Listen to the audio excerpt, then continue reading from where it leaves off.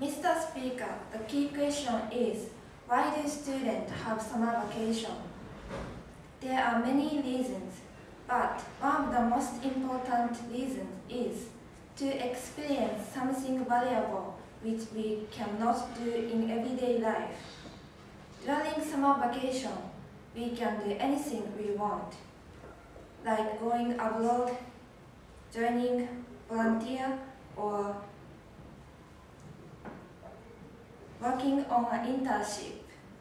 From this experience are very, very valuable for our life.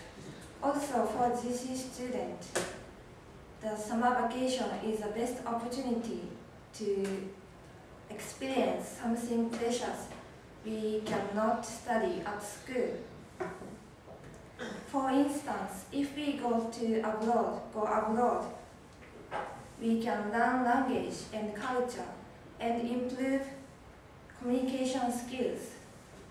These are very valuable for our future. So summer vacation is necessary for GC students to gain new experience and improve ourselves. Thank you.